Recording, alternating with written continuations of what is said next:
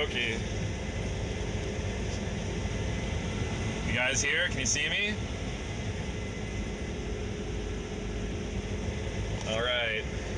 We got got 200 of you guys. It's a little dark in here. I'm with TJ Wonkin, Hello. and we are uh, cruising down the field right offside, out right next to Interstate I-15 in Shelby. And uh, I guess one of a kind at the moment. I'm sure there's more of these out there, but supposedly this is the only one cutting in uh, America or North America. It's Case IH 25 or 80, sorry, 25. I'm so used to saying that.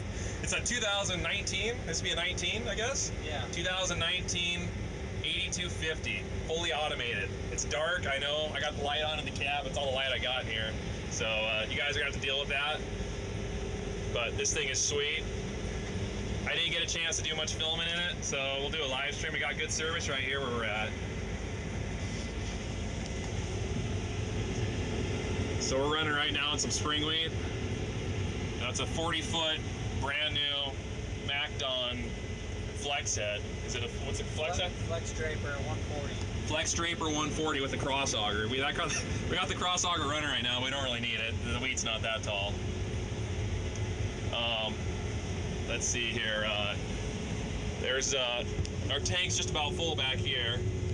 This is basically the same combine as a as like an 8230, 8240. Uh, as far as the mechanics of the combine go, oh man, I already got a donation. Mason Ledford, 10 bucks. What's up, Nick? Just stopped by to say hi. What's up? Well, we're uh, cruising down the field in a in a brand new demo. Uh, how many hours are on this thing? Uh, 125 engine hours. 70 threshing hours. You pretty much put all those on it. Put most of Did it? on. Did it come here, like directly to Montana for right off the factory, or did it start No, somewhere else? There, it was in Havre. It was in Havre for a while. I believe Torres has, has had it most of the time though. Oh, really? Okay. So Wow. yeah, Yeah. the the cool thing about this machine is the whole inside is fully automated. I believe there's 16 sensors um, changing all the time. Fan speed, rotor speed, rotor vanes, uh, sieve settings, so it will cut the most capacity, the cleanest sample, Yeah. always analyzing, adjusting. It can outcut any human being on the planet. As you guys can see right now, TJ is doing nothing. He's not steering it. His hand's not on the yoke. He's not pressing any buttons. This combine will literally slow up, speed up, slow down. The header's auto floating. Um, but it, it's as you're watching here, the fan, the rotor speed, the vanes, everything is changing on the die, depending on what kind of what kind of products go inside this combine. If it gets thin here, right now it's maxed at six miles an hour. That's what we have the cap at. It'll cut faster than that, but we've got it set at six. You can see all that over there.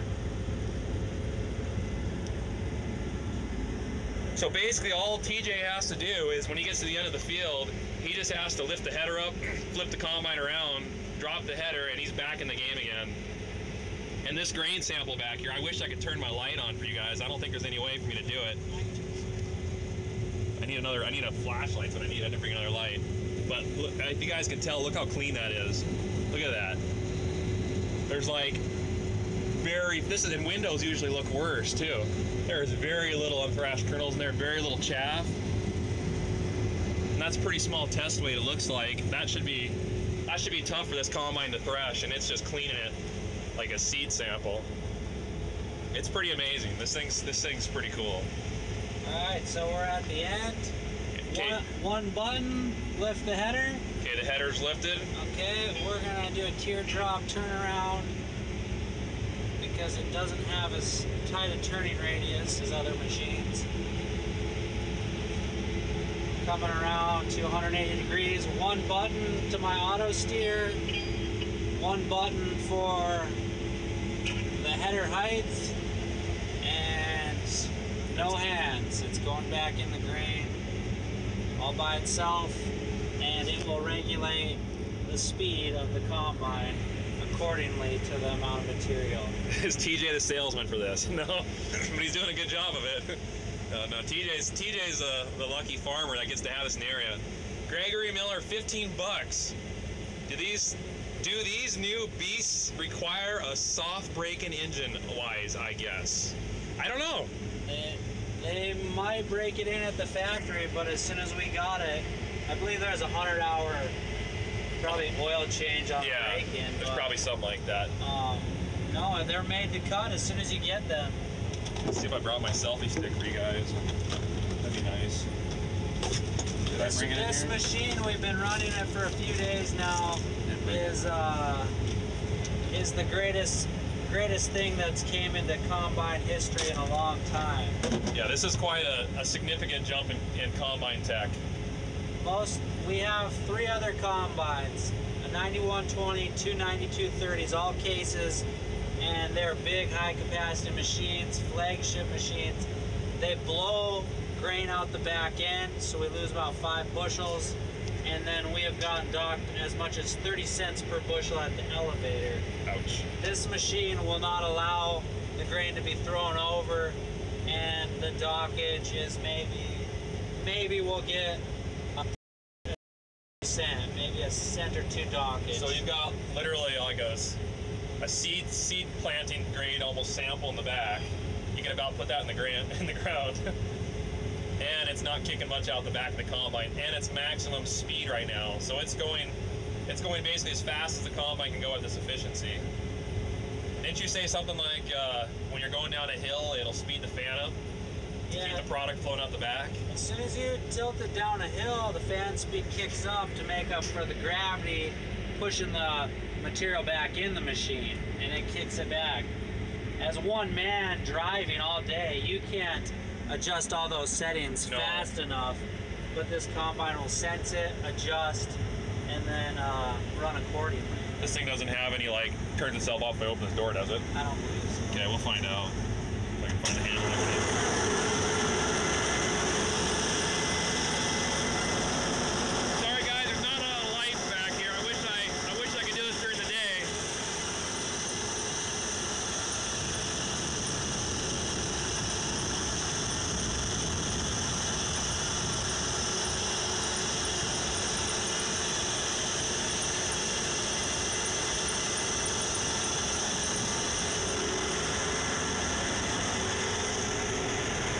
It's getting chilly out there. Whew. Yeah, So I don't think it has a thermometer. Is one As- thing it might be missing. As far as we know, they haven't put a price tag on this combine yet. They go into production the end of this year. They're actually probably producing them right now, getting them ready for next year, and they'll be able to buy one next year.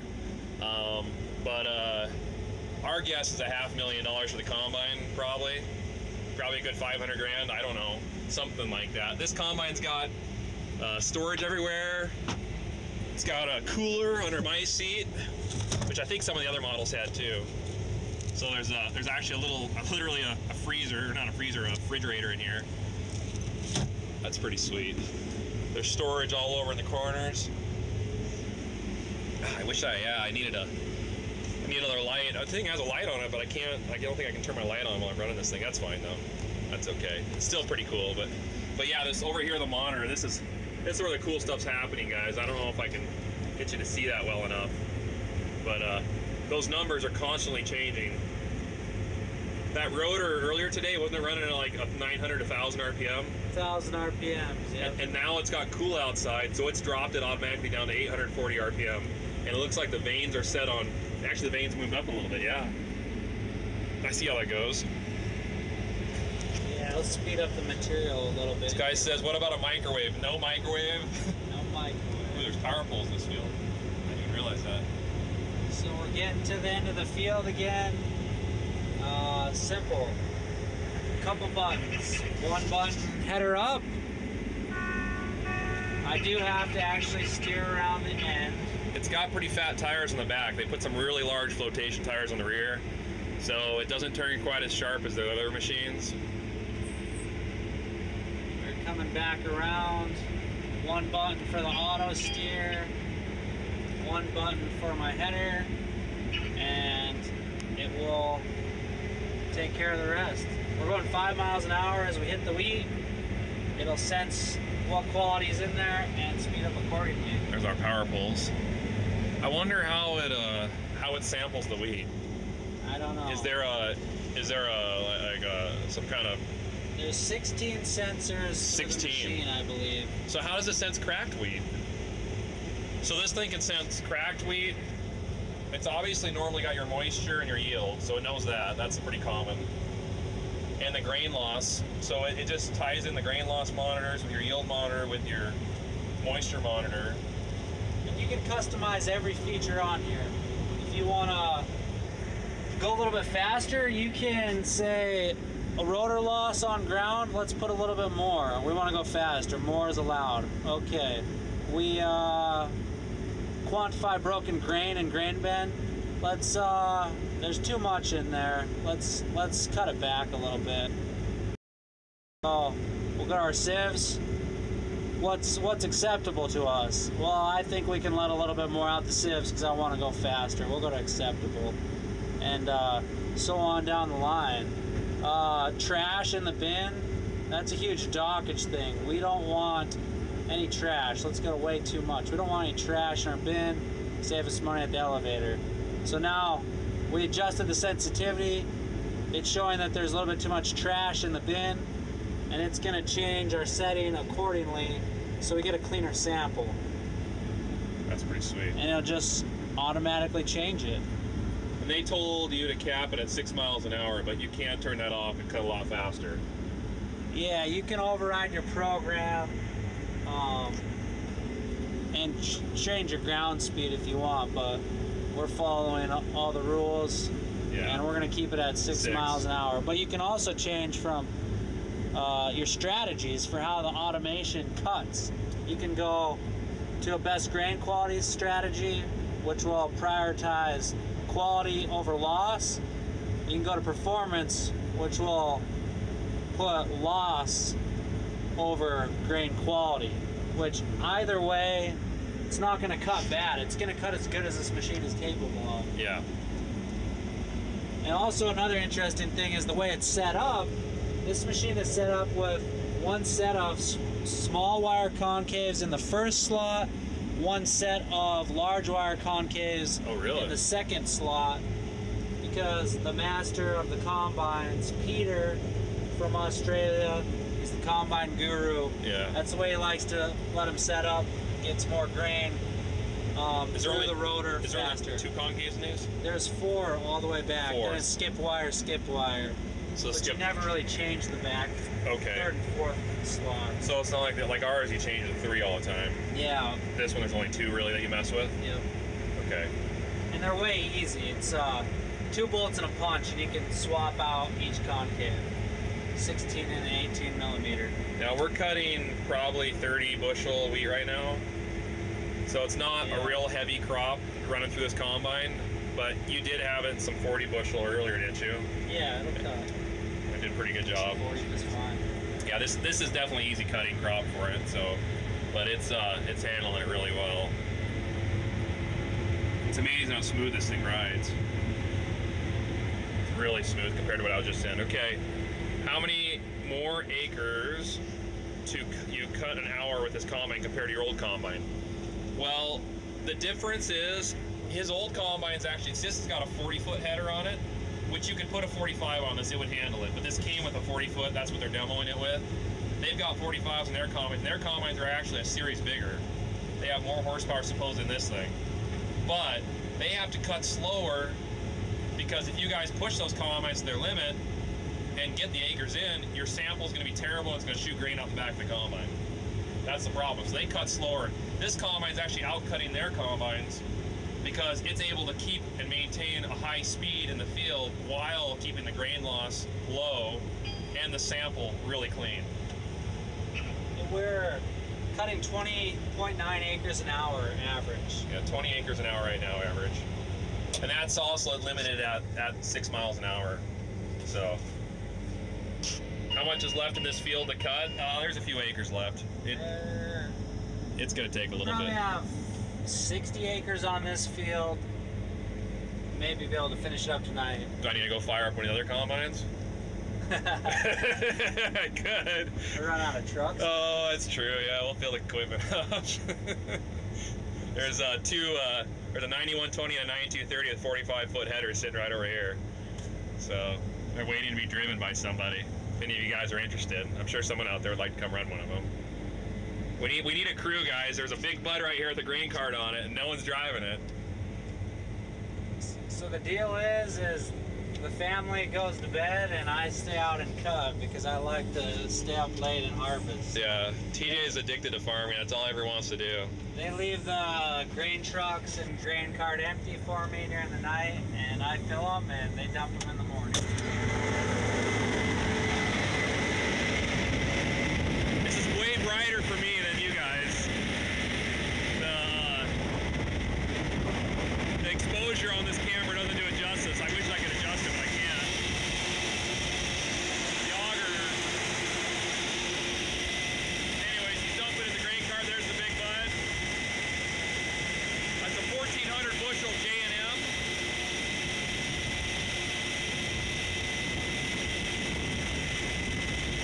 Uh, I can see the whole thing tilt for a second there. See that whole cart move? The whole thing was like, "Eh."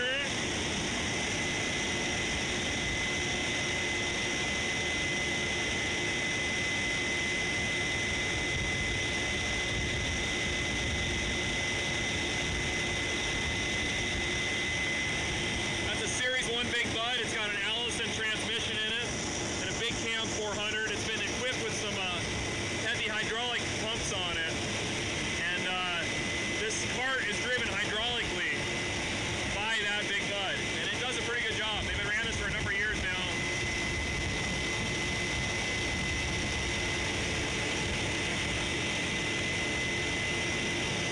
So overall, this is the same combine as you can buy like an 80, 8240, 8230. It's basically the same combine from what is our understanding. It's just got a computer that controls everything.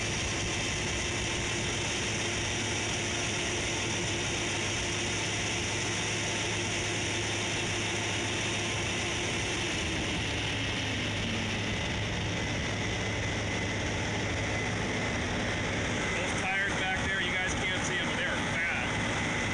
This thing's got some heavy wheels on the back.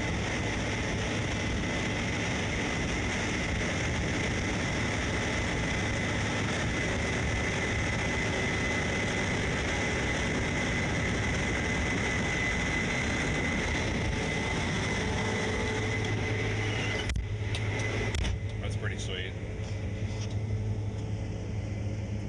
Um, this is actually Wonkin Farms, technically. It's just I'm hijacking this thing. So, no, this is Bunker Farms broadcast on Wonkin Farms.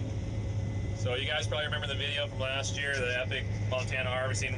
This is the Wonkin side of farms. Okay, let's see here. Uh, how much slower is the cart auger on the hydraulics than it is with a PTO? That uh, hydraulic auger on the grain cart is so fast. It's got like a 16 inch auger on there. And you think it turns it about as fast as a PTO it's drive? not it's not as fast as a PTO drive, but you can fill a thousand bushel semi in minutes. So our tractors don't have PTOs. We don't have the quad track with the PTO, and uh, we've never had problems with uh, getting the grain trucks filled and getting them out of the field with just- that cart. The hassle was just getting the big bud set up for the hydraulics is pretty much it, wasn't it? Uh, yeah, and after we got that set up, it works fine. The main issue we've had before is the mounting bracket for the hydraulic motor has twisted off Oh wow. because it had so much torque. But Oh wow. we've reinforced it multiple times, and I think we got it solid enough that it stays. Yeah. But I've heard the argument a lot about PTO's faster than hydraulics. That is true. Yeah. Um, maybe 25% faster, but you're pumping it out with a 16 inch Yeah. auger You're still moving a lot of product. and we'll run it at a 1300 RPMs on the tractor and just kind of idle it out, and it fills so fast. Yeah, guys, I would have been here earlier in the day uh, when it was light out, but uh, I was running a combine, obviously, which you guys saw earlier, so I couldn't get over here sooner. But uh, yeah, it's still pretty sweet. It's fun. It's fun running this thing. It's pretty neat. I think this is the future of combines for sure. It's just the question that we have. This is the ultimate question with this system. We know it's going to be expensive. That's that's no doubt. That's already a given. Combines are expensive, but the real question is, how long is this system going to last before it uh, before it uh, um, starts having some major electrical issues, sensor issues, that kind of stuff. And when that stuff happens, I guess you can just turn, keep cutting this combine like a regular combine then. So it's not like you get, get shut down. It's just, will this give you a lot of headache in the future? I don't know. It's had, it's got 70 hours on it. Yeah. 70 hours so far, and as far as I know, there hasn't been any hiccups. Been running great. No, it runs great. So, so it's hard to uh, hard to say. Uh, but if it does run well, if you can get 2,000 hours on this thing, 1,500 hours on this thing before any major problems happen with the sensors, the computer, or any of that stuff, um, that's that's pretty good. Oh yeah, here's our grain tank. I can show you guys this now, since it's down.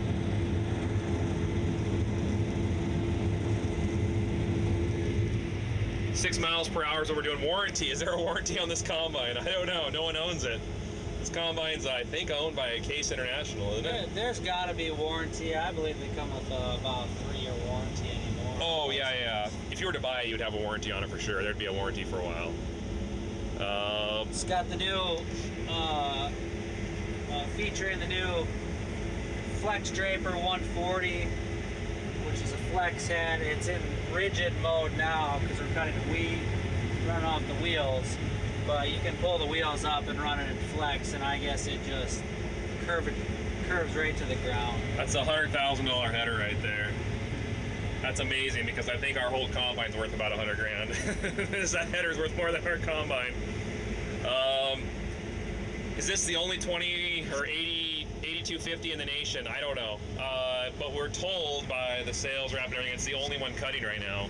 Basically, it's the only one. They haven't sold any of these yet. These are they, maybe there's pre-orders. I don't know if you can pre-order them. There might be pre-orders. As far as I know, this is the only one in operation in, In- in, the United States. They might be in other parts of the world, but as far as right now in the United States, yeah, this is the only this is the only tw- uh, 8250 that's cutting a crop right now. with in, in uh, the public's hands, I guess. Yeah. I'm sure there's a lot of prototypes working back in Racine, Wisconsin, I believe, is the headquarters. Kobe Mac says, "Yo Nick, we are running a 9240 this year with a MacDon FD 140, all brand new this year, and they have been flawless and beast mode. They're awesome, and the 50 series will be released in 2019." He says. Nice. Well, that's pretty much what these guys guys. They got the 30 series. We just jumped the gun, and we wanted it released in 2018. so- Yeah, so we got a little early. Beautiful piece of equipment. It is. It is. This is pretty cool. I mean, TJ's having to grab the controls now because we would have a half million dollar ax. No, we took that out. That'd be probably that transmission line's probably a good two million dollar line there. Watch out for the power. Yeah, if we ran that into that, this would this would be uh, all over the news. We'd have we'd have make some enemies at Case IH headquarters.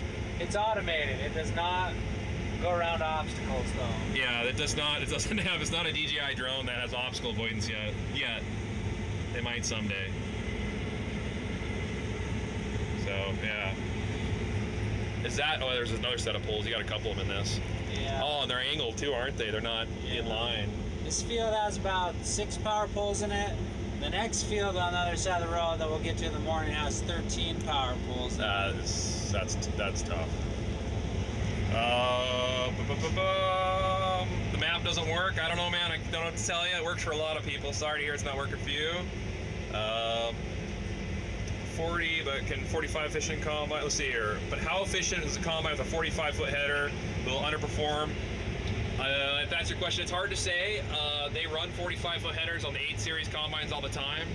So that's all this combine is. Is just a, it's just basically an 8240. It's an 8240 basically with maybe a few more bells and whistles. I don't think they increase the horsepower any. I, I don't know for sure, but it's the computer, it's the brains behind it. This thing's automated. Yeah, it'll it'll run a 45 foot header all day. Yeah, and in this, in a, in a 30 bushel crop, a 45 foot head would be perfect for this thing. If you were cutting 60, 80 bushel, you know, 100 bushel irrigated, I wouldn't run a 45 foot in that. That's that's a lot of product. You know, you'd probably want a smaller head for that. If you were uh, Garrett Grubb, you might want to run a smaller head, like a 40 foot.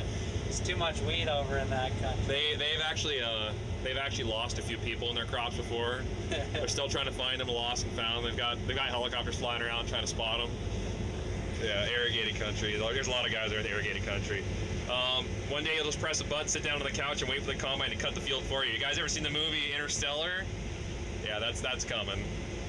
This is not all brand new tech. They have been building up to this tech, tech technology for the past 10 years by putting a little into the machines every year. It was just not completed, completely automated. That's totally true. This is all systems that are basically just now finally being linked together for the first time.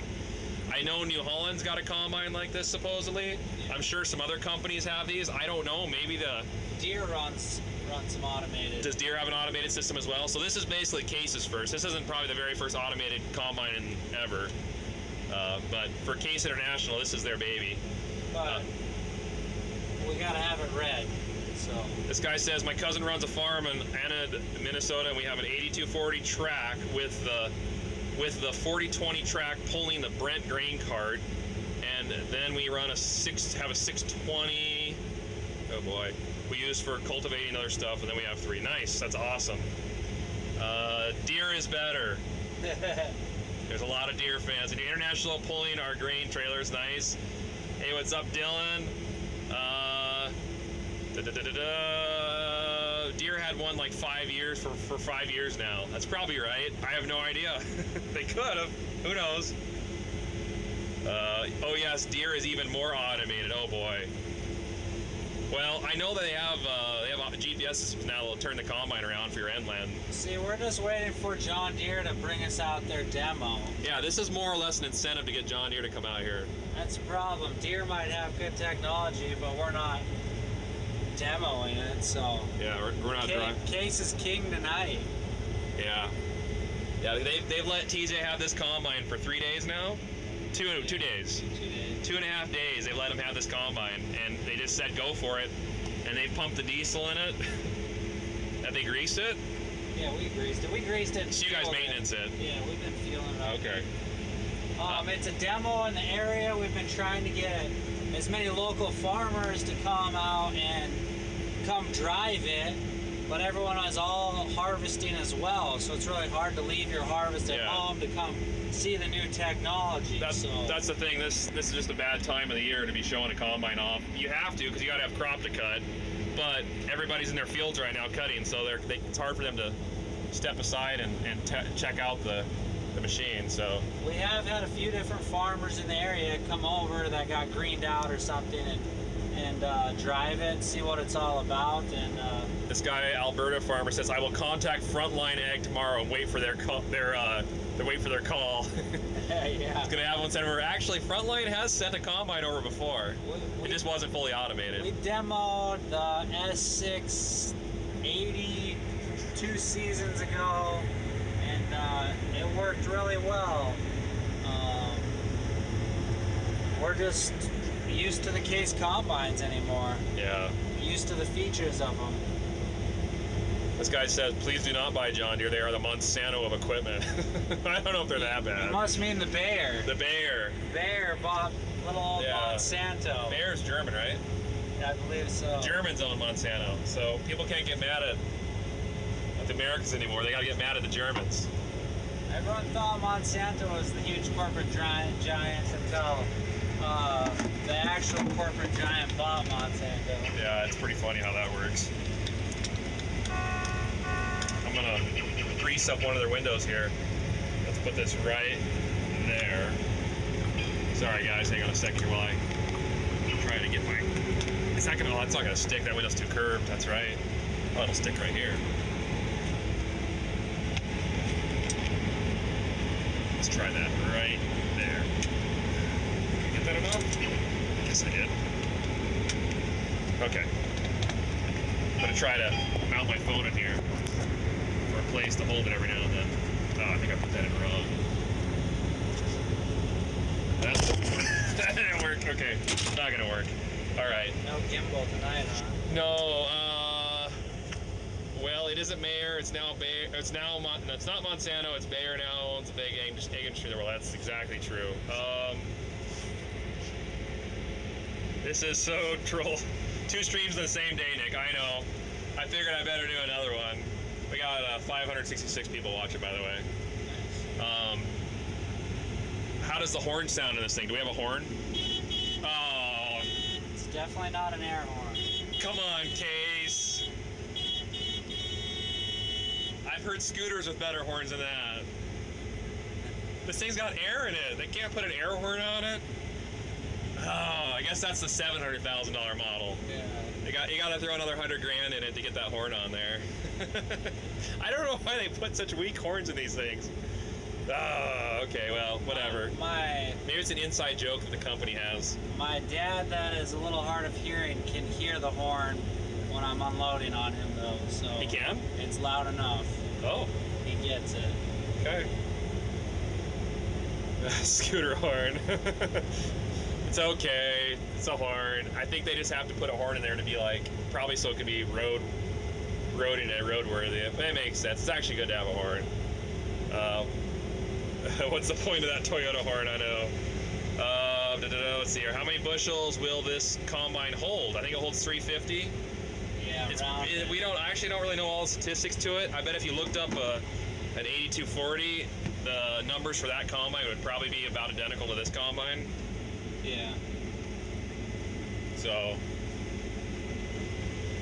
if there wasn't power poles, I could show you guys again over here what's going on. You can see This, that. uh, the rotor cage vanes on top are adjusting to speed up the material flow through the rotor. Um, as we speak, they're adjusting. That's pretty cool. And also the big adjustment is this pre-sieve here. Um, I've seen that all the way up into about 10 or 11 today.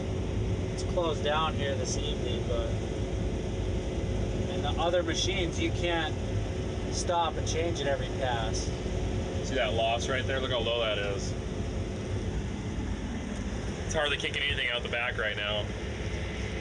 Um, Nick, is it more productive than your combines? This combine here could probably outcut our two combined.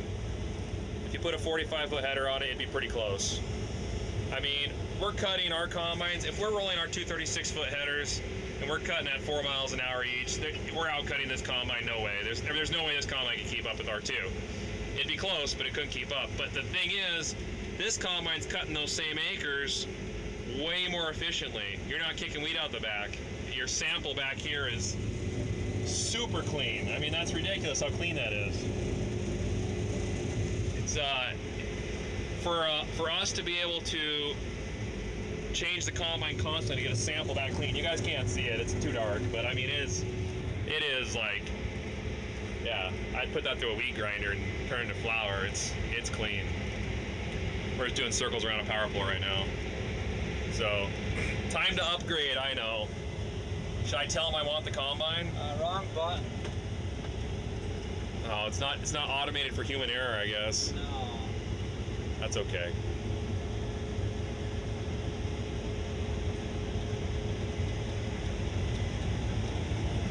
It's pretty cool though. Definitely thanks to Torgerson's for uh, bringing this out. Um, is this a Case IH? This is definitely a Case IH. Yep. You guys need to demo John your S790. It's amazing how automated it is. It probably is very similar to this thing. I've heard good things about it. No raise for leg arms if the combine is bought. uh, if we buy this combine, we might have to put some land on mortgage. Maybe, I don't know. Um, how much feet is the header? This is a 40 foot head on this. It's not a really, it's not the biggest head. Um, it's just one that they decided to use for demoing it up here. It is a brand new header though, as far as I know. Isn't it brand new? Yeah. So it's a, it's a brand new MacDon uh, 40 foot flex head. What's the model on it again? It's a FD 140. FD 140. Someone else on here had one of those. Is there an FD 145, a 45 foot flex head, or do they make that? I believe so.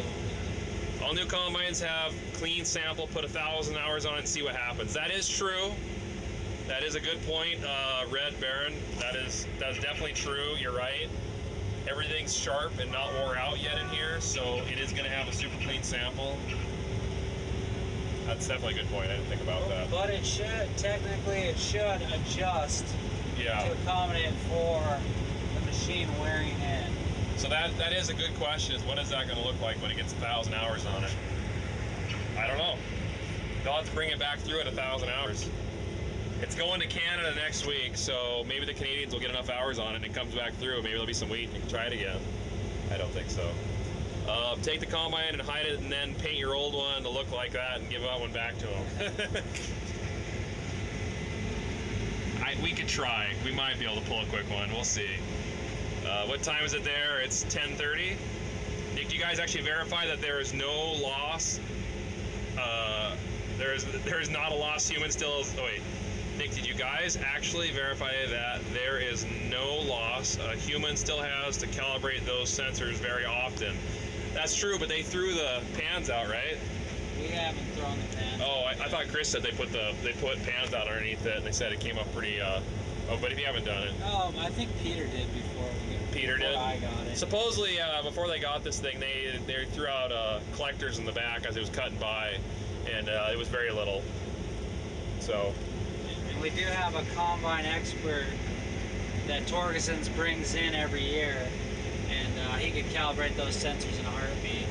yeah, there's a guy named Peter, and he's on top of all this stuff. He's from Australia, actually, and uh, he knows uh, he knows these combines up and down and all around. So, this is the new baby that he uh, he's on. Nick, engine RPM. What's the engine RPM? It's probably 23, 2400 RPM, I'd imagine. Does it have any engine RPMs on there? Oh, it says 2100. Oh wow, they lowered that down quite a bit. See, ours run almost 25 wide open. Fuel rate 20 gallons per hour, 18. Dropping down.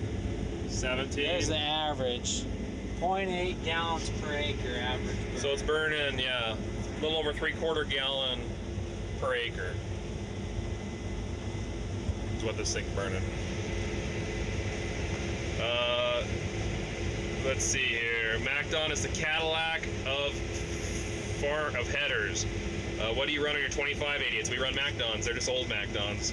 They're a 2004 and a 2006 uh, 2042 MacDon header. They're actually a case header, but they're built by MacDon. So, how much could a brand new header usually cost? Well, this one's fully loaded. This one's got the cross auger. It's a flex head, 40 foot MacDon. This one's 100 grand, roughly, right? Yeah. Hundred thousand dollars, right at about hundred thousand dollars. If you didn't get the cross auger, if you didn't get the flex hood, and you only got just a regular 40 foot Draper header, what 70, Here probably 60 is. sixty thousand dollars probably for that header. If you got a 45 foot flex head with a cross auger, you're probably looking at 130, maybe 120. Who am I with? This is TJ Wonkin from Wonkin Farms. We, we're basically crosstown neighbors slash arch rivals. Um, our plan is to take over the county one way or another. We're just not sure how we're going to do it, but he's taking the southern half right now. I'm trying to take the northern half. We got about 150 years to go before we get it all. We just gotta figure out how we can get rid of the houses in town so we can farm through the Yeah. valley. The, the town of the farms. that's the town of Shelby's in the way. We gotta. It's the only thing that stands in our way from farming next to each It other. kind of a hole. Maybe we could just push a bunch of dirt into it, farm over it. In farm Yeah. over it. We'll be like Detroit, where they're going to turn some of that land back into farmland. Um, Brandon Vulcans just gave 10 bucks. Glad to see you are streaming this. You should be in bed. You have a sick little three-year-old. Oh, I have a sick little three-year-old, so I'm up with her. I'm sorry, Brandon. That is too bad. I appreciate the 10 bucks, man. Having sick kids is not easy. I've only, I've only had ours sick once, and she was barely like five months old, and it was scary. I don't know. I just, yeah.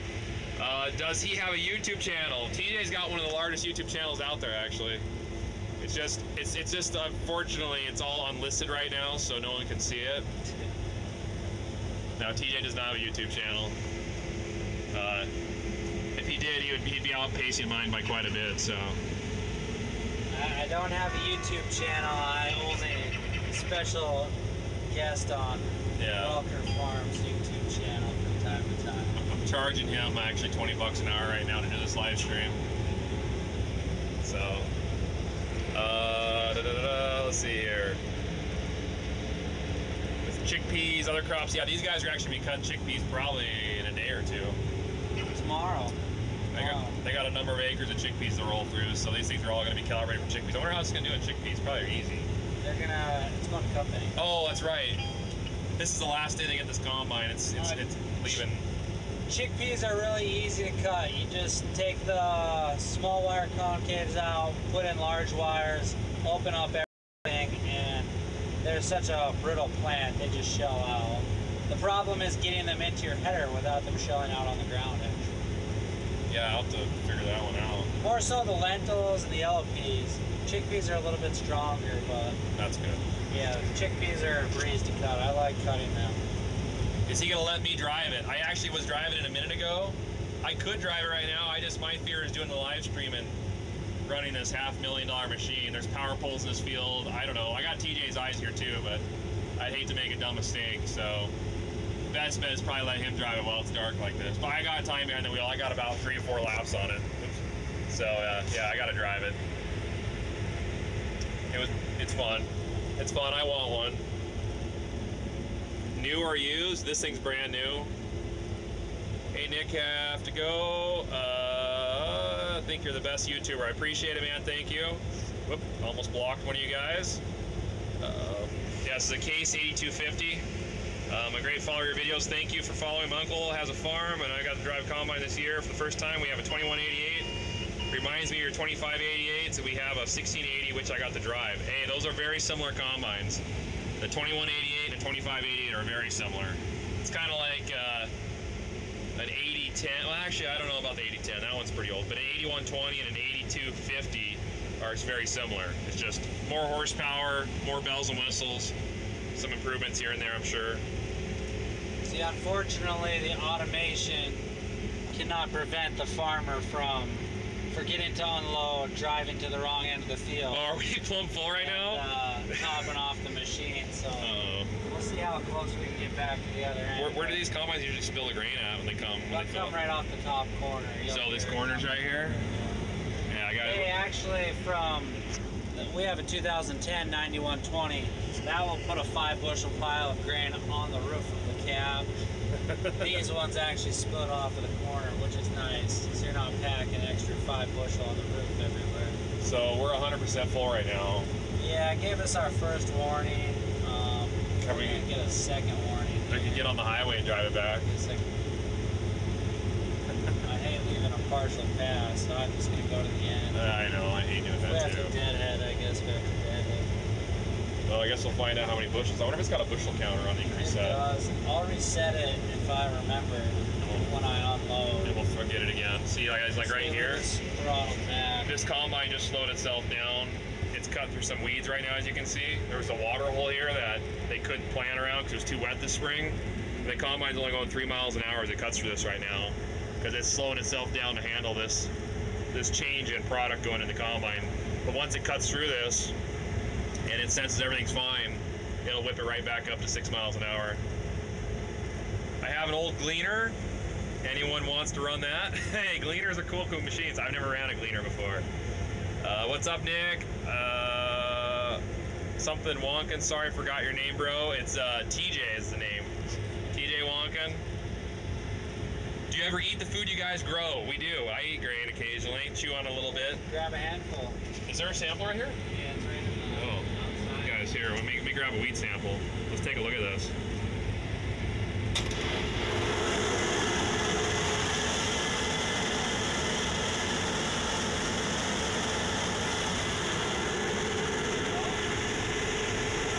We're live streaming.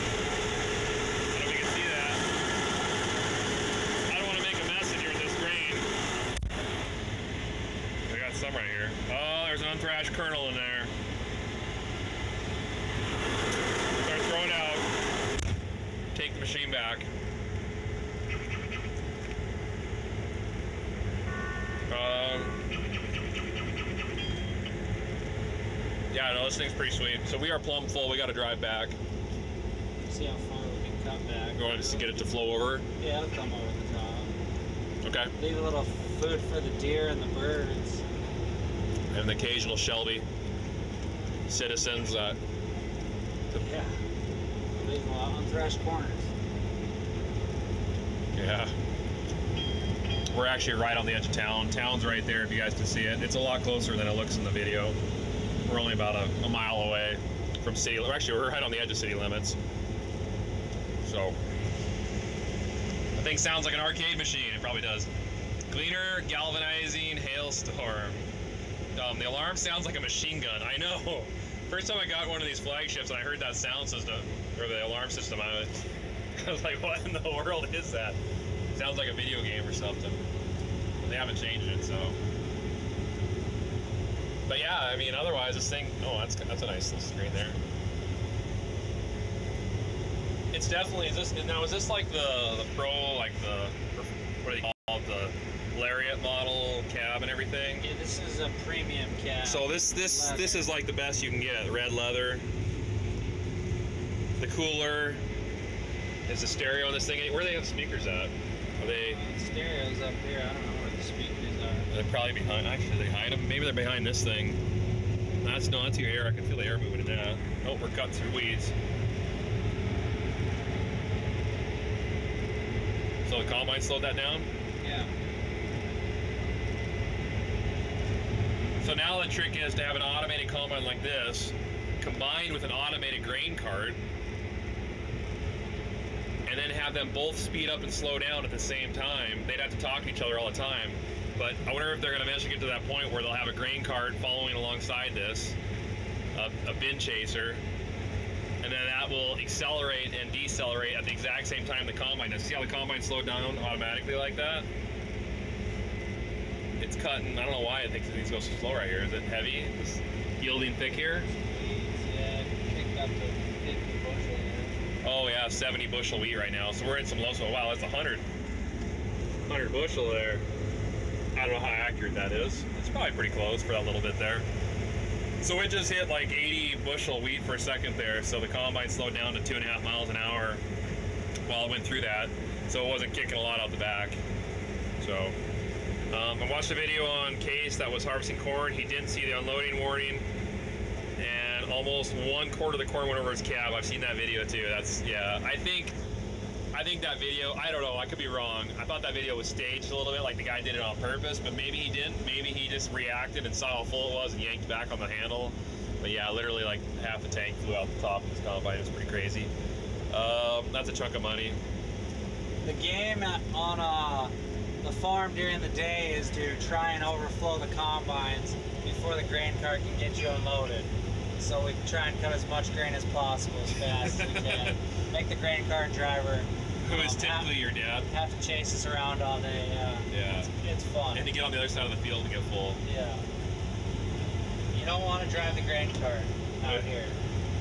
I've actually done very little grain car driving, so I can't relate. But this guy can. He's, he's driven it a bunch. Uh, let's see here. Honk the horn. It's pretty weak, guys. I don't know if you want to hear it. It's actually pretty quiet in the cab. Other ours are loud. They, Open the door, you can hear it a little bit more. Oh that's pretty loud. Pro 700 controls the cart tractor speed and distance for unloading, throughput, Bluetooth. The tractor, of course, has to be on full auto guidance. That's awesome. The horn is not better than ours. I honestly think our horn maybe is a little more manly than this horn. They're really close. They're pretty close. I know they're not the same. Sounds like a skid steer loader. I know. Maybe Case puts them in their skid steers as well. There it is. I figure it's what's that? It's coming over. Oh, is it coming over? Oh yeah. Do not hit the brakes. Okay, we gotta go real slow. We are leaking grain out the top of the combine right now. Have you ever uh, engaged the the auger and filled the auger full? I figure you can fit about four or five bushel in the auger. So a Oh, lot of times when I'm full like that, I'll kick the auger in for a second until it just starts to come out and I'll shut it Uh-huh. off. Oh boy, yeah, we got grain. It's raining. Raining money out here. in Yeah. North central Montana tonight. We're, we're losing we're losing money. Oh,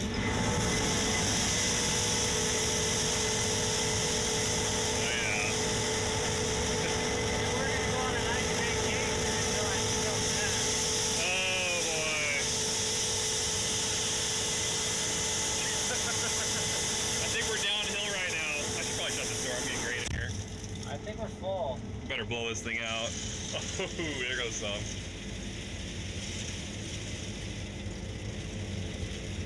That's about six loaves of bread there. Seven loaves of bread. If, if TJ yanks back on that thing, we're gonna lose about 10 bushel.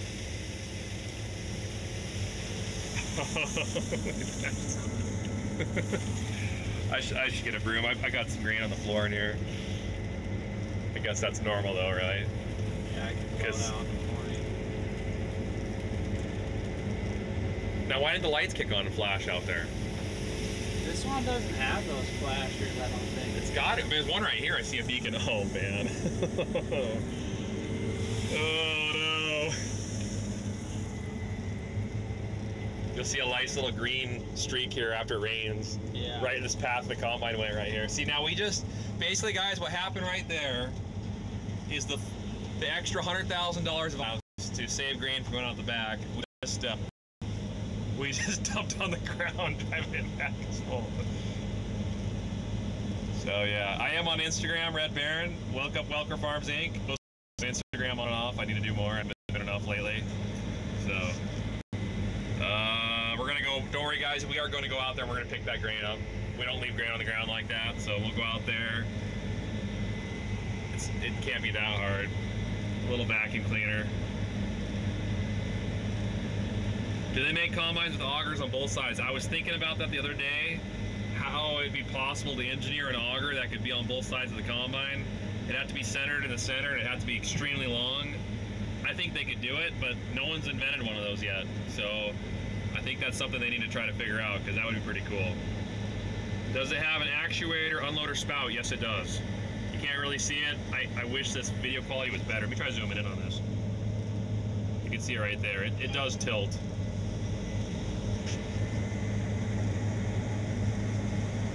He's got that 1400 bushel cart pretty full. Is that your bud? That's not our big bud. That's Wonkin Farms big bud. They've got a number of big buds. That's actually one of between the two Wonkin Farms. There's five big buds. Two series, no, four, four big buds. They've got two series ones and two series threes. That's a nice running tractor right there. It's actually uh, it runs really good. They put an automatic transmission in it.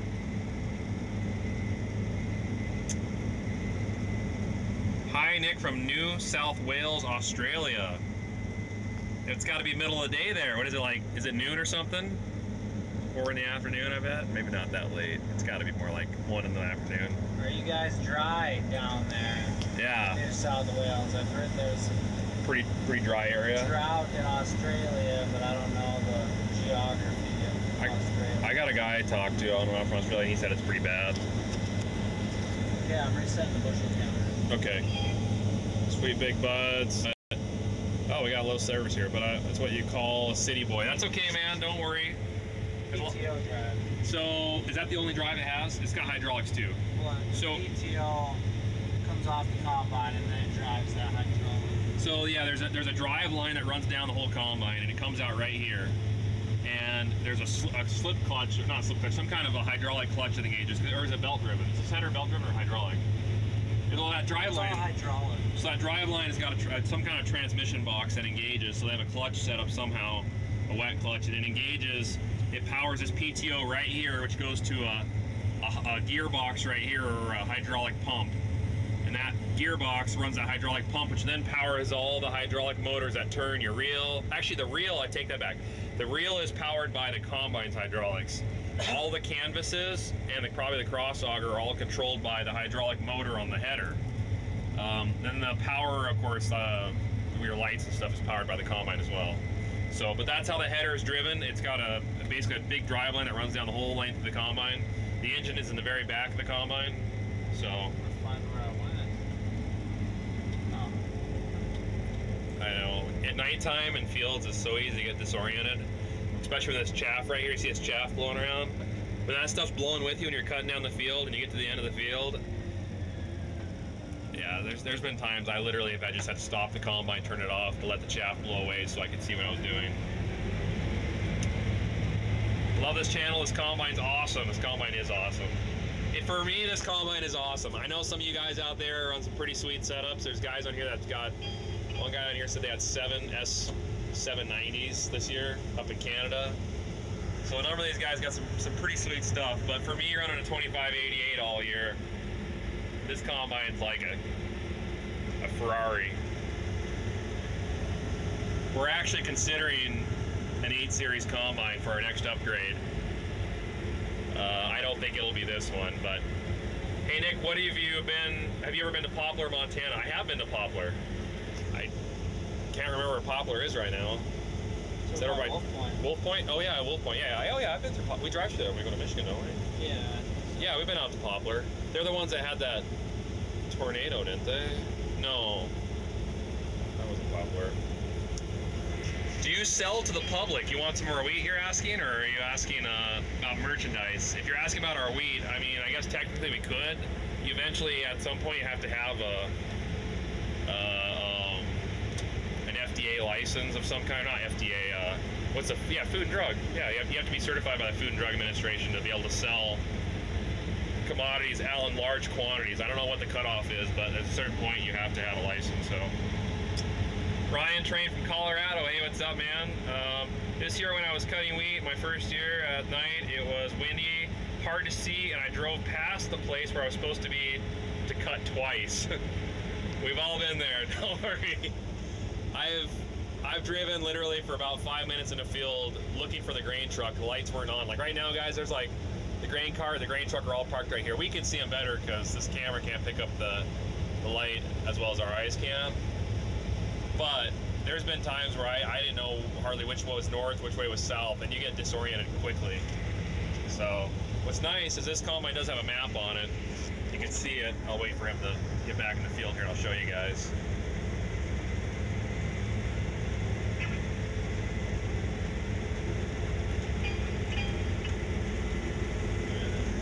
So here's our map, our yield map. This is uh, this is moisture map, fuel economy, coverage, yield. There's the variableness in our yields. So that Oh, little, here's a, this Oh. is all the. oh, is This is what we've been cutting lately. oh yeah, zoom out. There, that's the fields I've cut with this. So the reason there's lines in between is that's where the other combines were cutting with this one. Those are strips that this was cutting alongside the other. That's awesome. So yeah, you, you do have a map there technically. So if you did get lost, you could rely on your GPS here to guide you back to where you need to get. How many acres per hour? I think we figured we run a little over 20. And 20.2 in average. We have the or set so it won't go above six miles an hour. It can. If we turn that off, it'll probably run up to seven and a half, eight miles an hour in this wheat. But they just they told them keep it at six, so they're keeping it at six. Um, demo combines are nice. You don't have to worry about keeping the cab clean. Well, I just contributed to that pretty good there, so it's not bad. Just a It little bit. was, it was clean until Nick got it. Yeah, I, I'm a destroyer of combine cabs, I guess. Chris would hate me. um, yes, how much does merchandise? If you guys want merchandise, go to welkerfarms.com and uh, you can see all our merchandise there. Uh, we sell hats, shirts, t-shirts, all kinds of stuff. Uh, hoodies. Let's see here if I pull this up. Let me, uh, what does this do? Can I type in this one? Let's see. I'm going to try typing something, guys. Okay. Done. There we go. Oh, the news thing's in the way again. I forgot about that.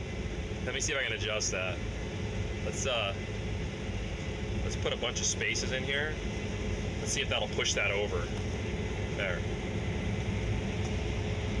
Oh, come on, you can do it. Turn it off.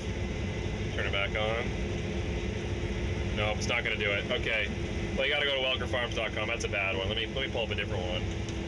Let's do. uh... Oops. I'm uh, playing on my phone here while everybody's watching. Anyways, that's not what I want either. Okay, turn on.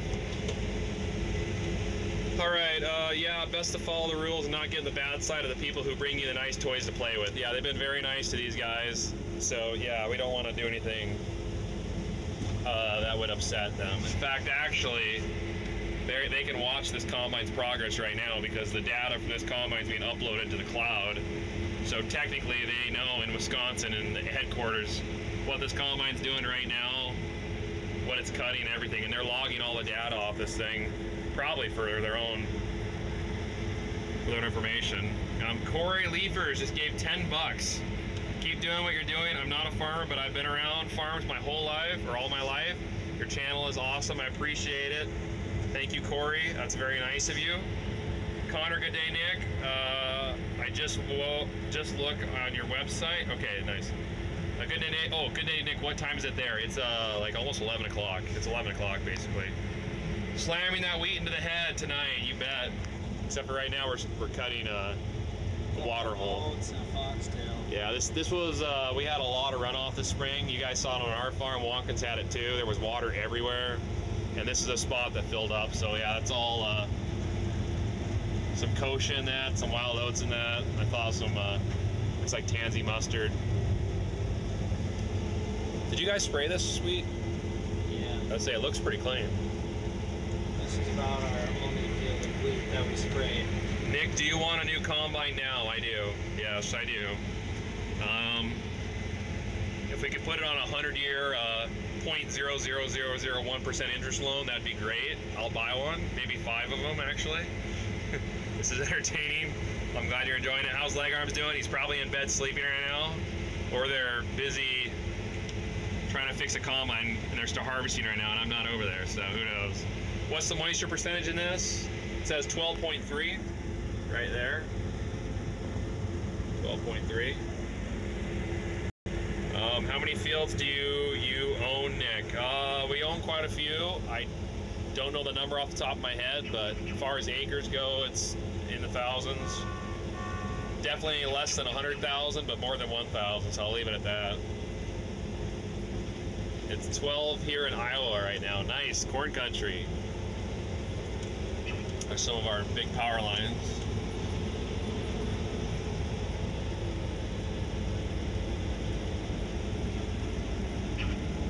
Um, greetings from the Ukraine. Awesome. Um, is it? Are you on another farm? I am on another farm. This is not Welker Farms right now. This is Cutting Wonkin Farms. And uh, they've had this combine for a couple days now. So we're running a we're running a brand new case 8250, hot off the factory floor, pretty much. It's only been out here a few hours, and it's uh, the only one right now running in the nation of this automation. I didn't mean to rhyme there. That was kind of weird. Um, how far is Wonkin Farms from your fields? Well, technically, we have fields that touch each other. Uh, we're on the other side of town, so where I'm at right now, guys, this is south, west, east. We're on the southwest side of Shelby. Uh, I would be way over that way, about seven to ten miles uh, that way. Actually, that moon is sweet right now. Nice red moon. Um, Big harvest. yeah, except for it's like half.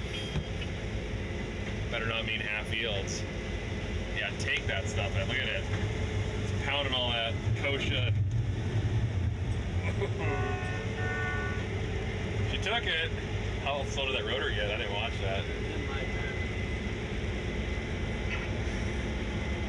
Now that's the one thing about the automated system that I'm not sure is it can't see ahead like a big weed patch. So if you're cruising along at six, seven miles an hour and you just let it roll right into a chunk of green weeds like we just did, I mean you could plug the system up. It did slow it down. I mean it automatically cut the cut your ground speed down to about nothing to make it through that, but you take a 45 foot header and you jam a bunch of kochia into it like that, that's a lot of mass that's got to get rammed through that combine. So, is it automated right now? Yeah. So it's cutting five miles an hour through this right now. This is yielding 32, 34. It's going up. I bet it'll hit 50. Some of this. Double 40. seated end pass. Yeah. 7 a.m. in Germany. That's awesome. Uh, create your own fields. We can. It looks like a blizzard outside when the wind is blowing. Yeah, the wind is blowing from the west. You got a lot of chaff. It does look like a blizzard. It makes you delirious sometimes. I actually think some people get motion sickness from it if they stare at it too long. I have horrible service, but I love because it gives me awesome memories. Uh, I have horrible. service, but I love it because I get. Oh, I, I guess he's talking about these uh, live streams. 45 foot. Yeah, that's a lot of header. Um, show us the screen. There you guys go. Go back to Run one. one. That's the. It's a long reach across this pretty big cab. I wish I could hold this phone steadier. Never get it bouncing on this thing. I've got it on wide angle lens too. Let me change that. There we are right here. There's only one light in this thing. It's on the ceiling. There we go. This is a little better camera for this. I think.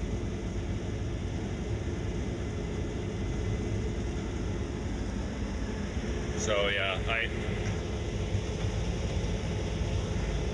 Um, does Wonkin Farms farm more acres than Welker Farms? They do, actually. They've got quite a bit of land, but a lot of it's uh, pretty far away. They're going to be changing some of their land leases up and stuff, so they'll be farming closer to their yard, farm yard. So, but yeah, between there's two family farms. Uh, one's in another town nearby, so they custom or they cut together. They combine their resources and have big harvest crews and cut together, and they can pound out a lot of acres that way. So but uh, there's no more Welkers near us. The nearest Welker Farms is in South Dakota, and I don't think we'd want to combine cutting forces there. So we might have to road our equipment a ways. But yeah, yep, nope. But they're not the biggest farm in the area. There's some there's some big ones. Actually, for Toole County, there's a couple big farms.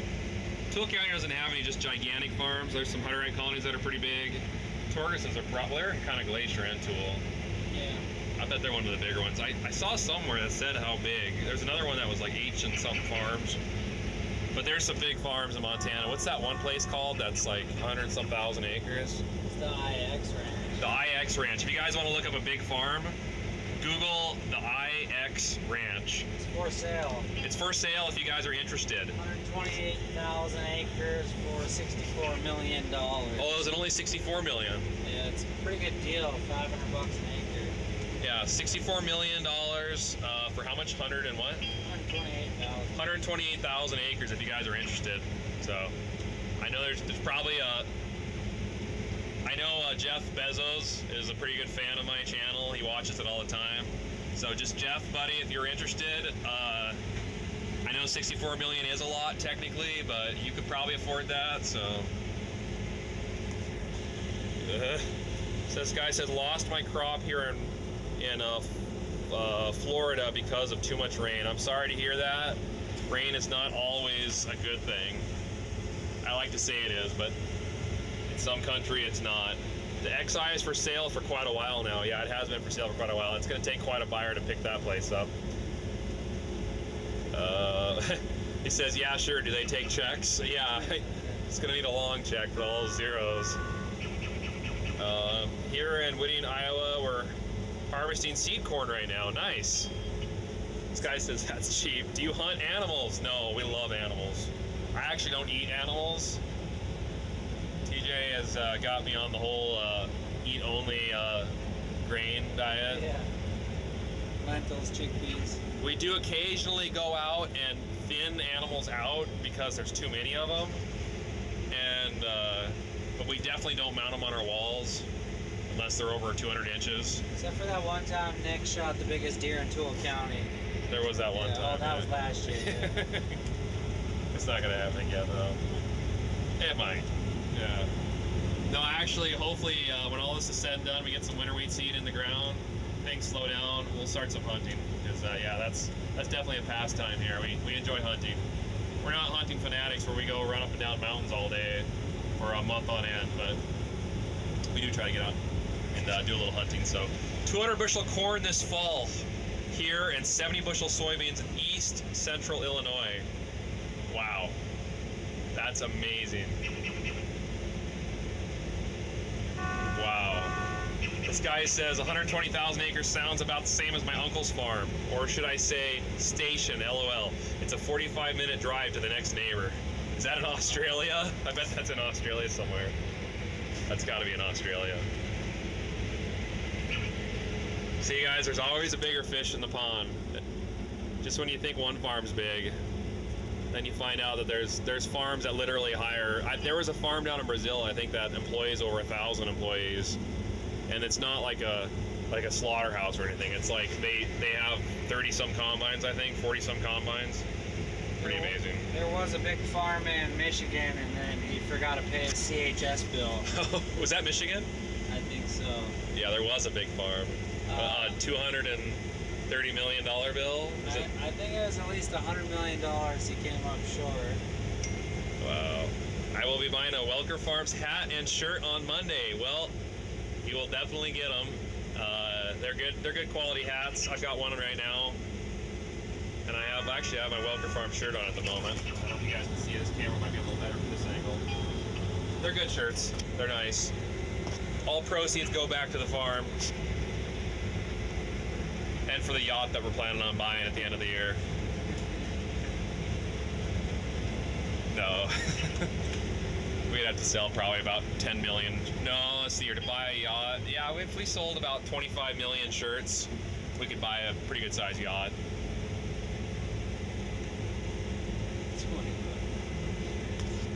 This guy says import a Zell air drill from Australia. It's 214 feet long. Wow, That would be pretty amazing. I would like that. This guy says the IX Ranch is $58 million, covers over 126,000 plus acres, of which 59,809 is deeded, and the majority of the balance being state grazing leases. It's a thousand bucks an acre for the deeded. That's amazing. That's That's- just crazy how you can even try and sell the rights to state ground.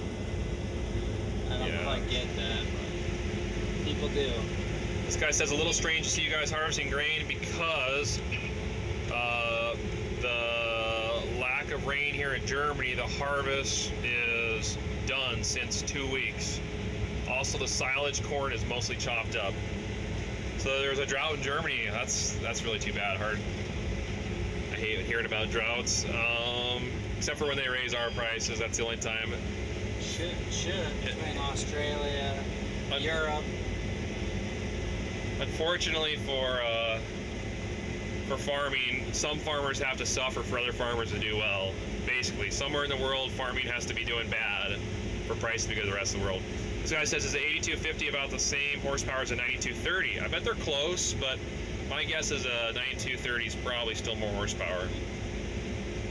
I would think. Yeah, 92, 30 probably has another 50 horsepower. But I think they're the same engine, and from what I understand, you can chip this combine to have the same horsepower as a 9 Series.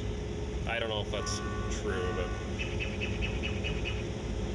Hey Nick, I live on a farm in Iowa. We just purchased a new bagger, and I was wondering if you can use baggers for wheat as well. Yeah. They're not as common in this area, but uh, That elevator out of Chester um, are they bagging? was bagging this year. Yeah, they got like 10 bags out there. Are they still putting pile up too? No, they just bagged it. So they quit piling. One elevator did. Uh, which one is it? You, The one G- west, west of Chester, I believe it's up by Columbia Grain. Yeah, that's Columbia. The other one's G, GC, CG. CGI. No. Or no. Yeah. Something G. I don't know all there, so I haven't yet, I should say. CGI. I thought it was CGI, but no, that's that's not right. CGI is Columbia Grain. Oh, you're right. We just finished our chickpeas today. They were extremely dry and they yielded 22 bushels. That's not bad. What variety? Sierra? Yeah, what variety of chickpeas is that? Can you push your combine? Oh boy. Uh, da, da, da, da. Watch videos. Okay, I'm, I'm a little behind. Can you push your combine? Oh, wait, can you push your combines to power a 40 foot header? Oh, our 2588s. Yeah, we probably could, but we would just have to cut slower and really thick stuff. It could handle a 40 foot head in, in, in light wheat. We're cutting like 30 bushel wheat. We could run a 40 foot head, I think. The problem is our feeder house isn't, you know, I, think honestly the combine's not heavy enough to handle a 40 foot header. I think it's, I don't know what the weight is of a newer 40 foot header versus our old 36 foots. Maybe they're similar, but this guy says uh, leader variety, L E A D E R. He's an Alberta, Alberta farmer.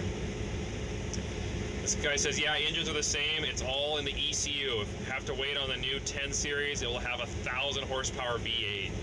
What? I have not heard about that. A thousand horsepower V8? Oh wow. Uncle has four New Holland combines, and I've lost count of all the tractors and chaser bins he uses. I guess it would be at least eight tractors. That's amazing. Wow. What do you prefer, John Deere or Case? You know, we get asked that question a lot. We run red, as you can see, so I, that probably should answer your question. There's great products on both sides. It's just Case has been something that we've been running for a while. Same same with Wonkin Farms. And uh, at this point in time, we just haven't had a reason to really jump ship and go a different color. So if something revolutionary comes out that just is groundbreaking and, and pushes the envelope in farming and agriculture, then that's something that we definitely look into. But I'm not opposed to having different colors paint on the farm, but uh, for combines for sure, we run Case. So you guys in one of your fields, no, this is actually Wonkin Farms. This is on the other side of town. So how many bushels per hour this is doing? What does that say on there? Uh, right now, 300. So about 300, 300 bushels an hour is what we're getting off this field. It's not a really high yielding field, but it's We're just kind of a little sliver. Oh When you get into the full field, I believe it's cut about 900 to 1,000. oh okay that number's not right. Yeah, we were just cutting a little sliver right there, so that doesn't count. Yeah. I have the most property for my farm is over 14,000 square inches. Wow. Hey, 14,000 square inches, man. That's a lot to talk about. Uh, hey, Nick, it's Country Kid 1099 from Apples Paradise Discord. Hope the harvest going well. Ours is even. It, ours isn't even in full swing yet. Love from Manitoba. Hey, no problem, Country Kid. You guys will get there eventually. Country, I keep Country Kid. When I say Country Kid, Country Cod, 1099. Sorry. Keep a lookout for this machine. It's heading north. Yeah, there's a good chance this combine might get up to Manitoba. I don't know how far they're planning on going with it, so. Looks very windy out there. It's a little breezy. It's not bad. It's probably 10 or 15 mile an hour. But with the chaff blowing, it makes it look worse. Sanders Farm says, I have good news. What's your good news, buddy? We like good news. Case IH is awesome, but you can't deny that John Deere came first. Uh, deers are pretty early. I, I, I know they're all really close at the same time, but yeah, definitely. Um, I hope it comes to Saskatchewan. There's a good chance this combine might make it up their ways.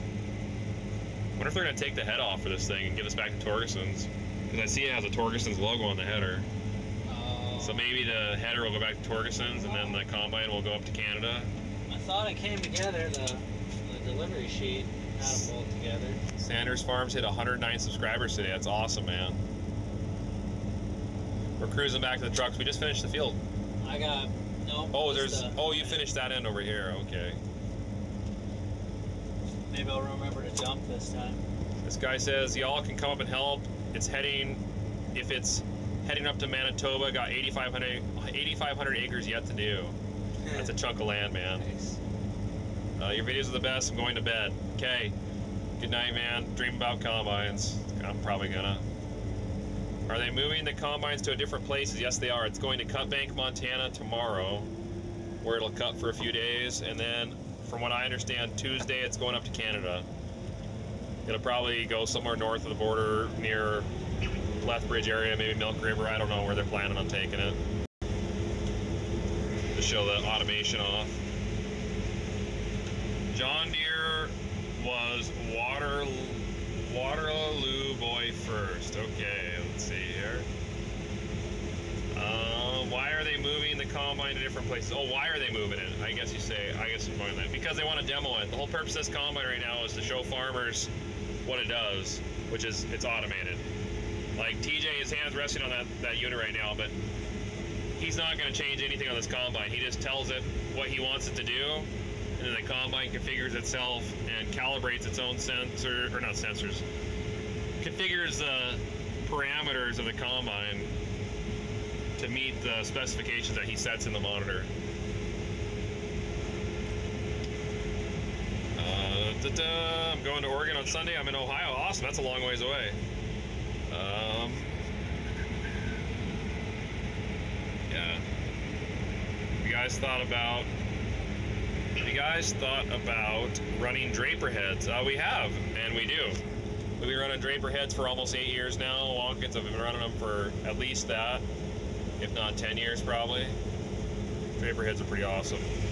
Funny thing is, we're getting running Draper heads now and putting a cross auger in them, just Yeah. like a conventional header was. Yeah, isn't that kind of funny? Yeah, cross auger turning in there. I heard that cutting mustard that a cross auger is going to be crucial feeding the material into the combine. So Jared said. So they bought cross augers this year. They did. Yeah. I didn't hear that. We got one. We got one on. I I'll was. be cutting by myself. Oh, did you get? You got one? It's in. Yeah, Uncle put it in. I was talking to him about that, about canola versus mustard and stuff. Yeah. I, yeah, does uh does canola require a cross auger? I don't think Casey had a auger. I don't know how he did. I didn't ask him. They don't have a cross auger on that. I'm pretty sure they don't. So. Um, Lauren, Wyoming Country Girl says, great seeing some nighttime harvesting. Uh, can I come help with my dad's 1964 John Deere? It's a 55. You bet. Bring that beast up here. Let's get it running. I don't think that combine even has a cab on it. Acres, acres. Uh, is that combine comparable to a John Deere S790? No, I would say a 790 is a bigger combine. This combine would be a series smaller than that one, probably. The 90, the 9250 would be what's comparable to an S790. What is a John? Is a John Deere the seven, the new series, Yeah, or or is this seven's a new series. because they had the 670, 680, 690? Yep. Okay. I think you had a 680 on the farm last year. yeah, I think so. Uh, yeah, this combine would be equivalent to the, the S780 probably. More aligned would it be close to. The difference between this combine, which I don't know, maybe the S series on John Deere's are fully automated like this. But for Case, this is Case's first uh, combine with the fully automated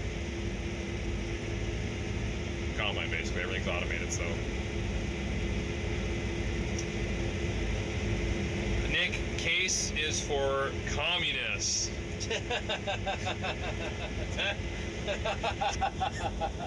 It, it is. It is red. Is Fiat German? Uh, I think the. Is Fiat German? Okay, well, Fiat's not Russian. We are not communists out here, regardless of the color on the In, in- in case you guys were wondering, the 92 or 9120 parked over here has a Trump flag, a big old Trump flag and a USA flag flying on either side of it. So I might give you an indication of. Uh, but this combine is red. I'm not gonna pretend that it isn't red. So different shade of red. yeah, it's a different shade of red. It's not. It's not communist red. It's not all American like John Deere. I do have to give John Deere credit there. John Deere has been American. As far as I know, it's a publicly traded company, but I imagine that the majority of the stock is owned by Americans. So that'd be my guess. I don't know. I could be wrong on that. What's the cost to buy farmland up there? It can vary greatly. Uh, there's land south of us that's going for $2,000 an acre. There's land north of us that's going for probably $700 an acre. So the price varies quite a bit, but typically I'd say land in this area is between 800 and $1,000 is what a lot of this land's going for anymore. Make America great again. I agree. We used to have 110 acres of farmland in Missouri. Nice. It looks like fire engine red. Case actually is very close to fire engine red. This guy says my uncle has 20 people at tops to farm 700,000. They have 700,000 acres. That's uh, that's hard to believe, but uh, I'm not saying it's impossible. I don't know if they run all 700,000 acres, but that's that's a that's a massive. uh, Maybe if it's rangeland. Fiat, Case, Dodge, New Holland, etc. Yep, it's true. They own a lot of that stuff. How do I convince my parents to let me get a Ford 9N? It's a Ford 9N? I'm not sure what a Ford 9N is. This guy says a guy in Saskatchewan trades all of his combines, tractors, and stuff every year. That's amazing. Uh, I'm trying to start my own farm in Colorado, trying to find land. The uh, here is impossible. Yeah, I, I do agree. Um, Hillary uses a case Nick. Don't do this to us, man. I saw a, I saw a meme on the internet today. And it showed a picture of a Hillary Clinton's uh, autobiography, I think is what it was, on one side, and then on the other side was a picture of toilet paper. The toilet paper was two for five bucks, and the Hillary Clinton book was two for two bucks. And it said even even Hillary's autobiography is, is cheaper than toilet paper. yeah, sorry. I what? I don't talk about that stuff on here.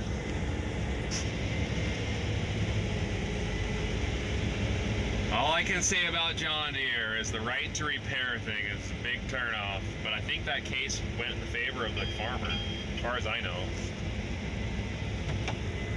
So, um, love you're all doing on YouTube channels. Love you guys. Do you think she will drive the case all the way to prison? hey, if it takes a case combine to finally get her in prison, I am more than happy to have her drive this thing to prison. That's fine. She can take all the cases she wants and run them to prison. That's what it takes to get her locked up. So, uh, can you tell my daughter good night? Uh, Wilrow. Wait, let me make sure I'm rather. Can you tell my daughter Willow? Will not. Willow. Good night. She would love that. Hey Willow. Have a good night. Hope you feel better. I'm sorry you're feeling crummy. That's not fun. But sounds like you're in good hands with Daddy there. So uh, he'll get better. But yeah, good night. Have sweet dreams. Joe Parker says, talk about subsidies. Well, we can't lie that the government doesn't give us some money. But we also can't lie that the government is a pain in the neck and makes farming hard sometimes. Subsidies are interesting these days. I know that uh, is it 12 billion dollars that Trump is doling out going to most of the soybean farmers Yeah. on uh, based on your production. They're going to give you so many dollars, like a dollar fifty per bushel that you produce that year. Uh, on every other year, when there is no special program, the Farm Bill provides only in a case of a disaster um, when the price dips under a certain level that they've pre-formulated. So So in other words, the farm, the government doesn't just give us handouts every year. It has to be a disaster in the area, correct? yeah, I believe in 2012 was the last year they did direct farm payments, and they used to give every farmer uh, a couple of bucks for each acre he farmed. In, in the 2020 farm bill, they changed the rules, and now it's on a um, based on um, if the prices aren't aren't as good as they would want. So it's it's a lot different. It's it's a disaster program now, not a direct farm payment program. So yeah, so we don't just get handouts every year, but the wheat prices have been down and production was down, and so it did trigger a couple payments the last couple years. This year we'll probably get a payment, but it could change, and you might not see payments for a long time. And with government farm subsidies, we will get the subsidy from 2017 paid in October of 2018. Yeah, isn't that amazing? So it's a disaster program to save you when you're hurting, and you could theoretically be broke, bankrupt, and out of farming by the time you get your disaster payment from the government a year later. To And- maybe start uh, getting a building a different career path, I suppose. And if you wanted to go into detail how the whole payment process works, there's three types of pay, of programs. There's PLC, there's ARC, and then there's ARC Individual. Isn't that right? Our county. ARC County and ARC Individual. And the amount of uh, craziness that goes into determining those things and the amount of factors, and farmers had to pick which one they wanted, not knowing entirely how it would actually come out. Some guys made out, some guys didn't. But it's all based off base acres, and you could have land that has base acres of all kinds of different crops that you've ever grown in your life, hardly. But they're just fake numbers. It's just I don't know. The whole thing is ridiculous. It's bureaucracy at its greatest. Uh, I don't know who thinks of these things. You think there could just be a simpler way of doing it, but yeah. I couldn't dream up a What- more complex program than the 2012 to 2017 Farm Bill and Program. It's like Common Core math. They are supposed to be creating the 2018 Farm Bill soon. Yeah, it'll be interesting because it's been almost five years. It's five years since last It'll, it'll be interesting to see what they come up with. Uh, They do need some support for the uh, American dairy farmers, though. They're hurting. yeah, the American dairy is really hurt. Uh, Joe Parker says, "No hate, guys. I'm in the USA, or I'm in the same boat. Just trying to get your opinion. Don't mean to be offensive. No, you're not offensive. Don't worry. Farm subsidies is just a hot topic because anytime someone gets money, especially government money, people get upset. It's funny though because some of the biggest handouts. Okay, let's put in perspective. Okay, the farm bill. The farm bill was how many trillion this last time? I don't remember what it was. It was over a trillion. It was like one point some or two some trillion dollars. I don't remember. It was enough. Okay.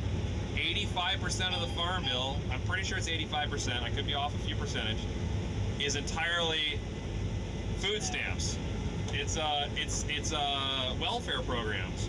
So the government politicians have basically taken a farm pro- bill, supposedly farm bill, and they threw in the welfare into it. And so now 85% of the farm bill is to pay people that have nothing to do with farming. They give people free handouts for uh, for stuff. So when you see this massive farm bill that's one point some trillion dollars, everybody goes crying on, you know, and getting all up in arms when actually only 15% of that, if I'm correct, I'm pretty sure 15% of that actually is only allocated for the farm program. So There's a lot of it that goes to food stamps, the SNAP program. And I don't know about you guys, but I've been in line and I've seen, and I'm not, there's people might hear me on food stamps on here, but I've seen individuals load their carts up with all kinds of uh, alcohol and chips and whatnot, and I, I didn't think you could, but they whip out a food stamp card and they seem to pay for it, so I don't know. It's hard to say. But I think it's uh, very important to take care of the poor and the needy, but I think in our country we have abusers. way past that, and everyone just wants to get some free food and not work. We went from taking care of the poor and the needy to be making the poor and needy entitled. And they literally get angry when they don't get anything. We, we've, we've removed the desire to get a job in this country. You can make a good living by uh, just using the system. So, yeah. that's a that's a hot topic.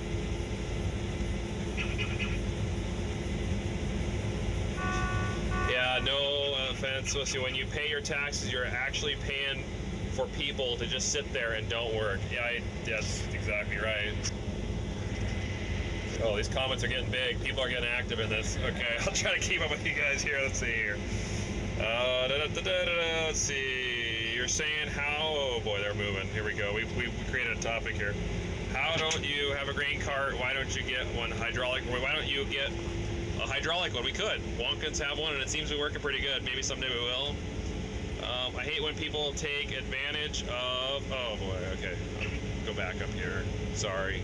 The thing about a grain cart, you need an extra operator then too.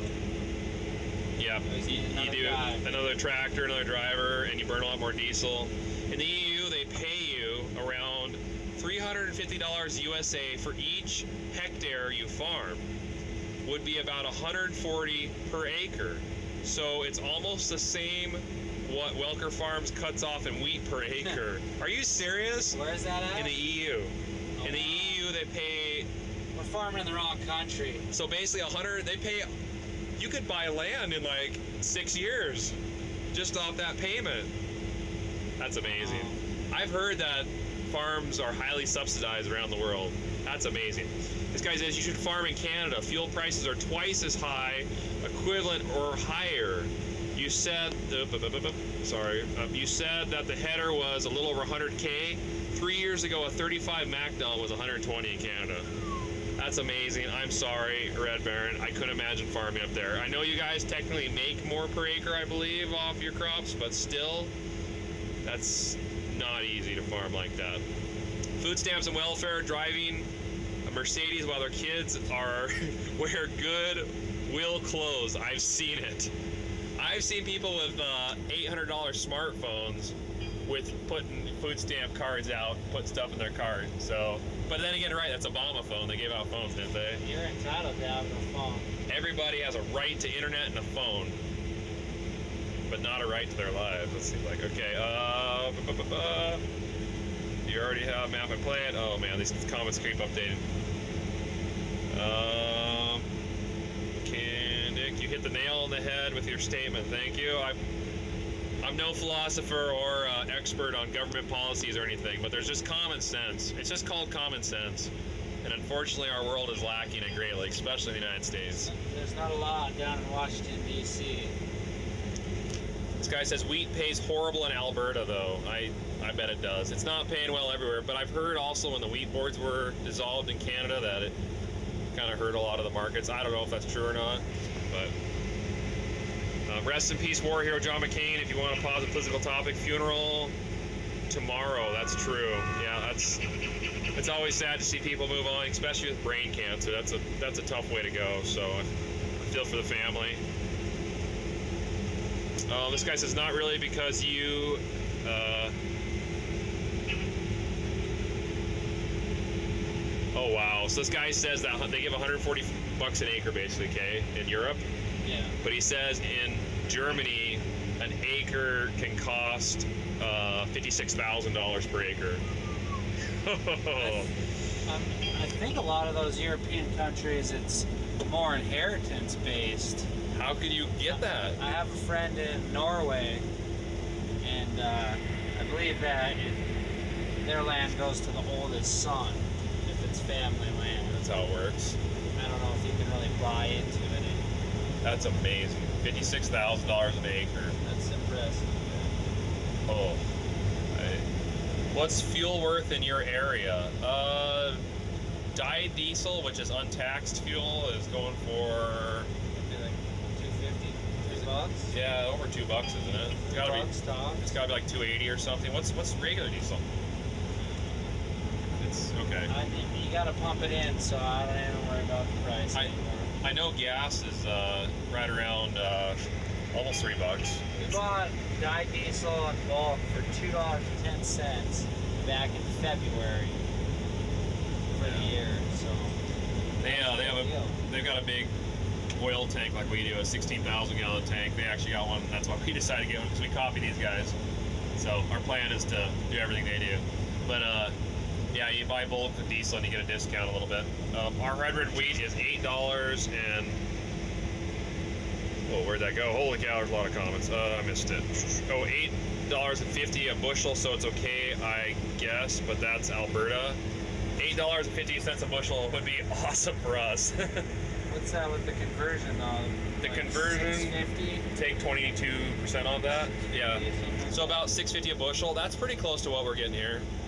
Wheat right now in America is five dollars and fifty cents a bushel for hard red spring wheat. Winter wheat's like five twenty, I think. In this area, that's just what I've seen. Tax diesel in Ohio is two seventy-five to three bucks. So untaxed is probably like 250, 245, somewhere in that area. Yeah, that's not really like that. Says it's good evening or morning. I love watching your videos. I can't sleep now because I'm looking forward to going to Minnesota State Fair. That sounds fun. I bet that's a sweet fair. I bet the state fair is gonna have a lot of good stuff. Uh, can that be better than the, the Rise, The Toole County Fair. the Fort County Fair in Shelby, Montana? Yeah, that was. Home of the Walker Tractor Pull? That's pretty much all. yeah, the fair was pretty sad this year. Corn is ten dollars a bushel in Kansas. What? That can't be right. Is that popcorn or something? Is that like a special corn? I thought corn was like three bucks a bushel. Yeah, four tops. Wow. Gas in Germany is eight point nine a gallon. Is it eight point nine dollars a gallon? That's amazing. What year is this case international? Brand, brand brand new. It's only got 70 hours on it. This is a 2019 case. I think it'd be a 2019 because they don't make this model. You can't buy this combine right now. It's uh, this is uh, this is a combine that technically is not for sale at the moment. It will be for sale in a few months, but right now this combine is uh, only in the demo mode right now. This isn't a prototype, but it's a it's a production model technically. It's going to be in production. But yeah, this is a fully automated case 20 or 8250. I'm so used to saying 20. I'm so used to 2188, 2588. Uh, my lentils did 50. My lentils did 50 Facebook bushel. I don't know what Facebook is, but uh, I think that must have been a typo. My lentils did 50 bushel. That is an enormous lentil crop, if that's true. I've never heard of a 50 bushel lentil crop. Too bad the lentils are only worth eight bucks this year, Yeah, it's not worth as much. opposed to about 19 last year. Is that a Macdon Flex Draper? Yes, it is. Brand new, 40 foot cross auger. That's a nice header. Uh, corn might be stupid expensive in Kansas, but everywhere else still plants it. It is expensive. Have a tug of war against his bud. no, we don't want to do that. Um, it's a joke. Everyone lies. Oh, okay. I was gonna say. Oh, I see what you mean. He says my lentils with 50 Facebook bushel. In other words, like on everyone on Facebook posts Yeah, like yeah. ridiculous. Yeah, yeah, we got you there. We got you. Okay. We cut 15 real bushels of lentils this year. Yeah, that's Those were uh, Avondale lentils, green lentils.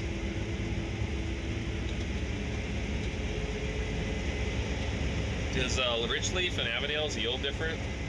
No, Avondale is the Richlea replacement, the new variety. Oh, really? Okay. I got it. But the, the Avondale is sold on a Richlea contract. 2019 Welker Farms has two new combines calling it. Yeah. Hey, I'm not going to rule out anything.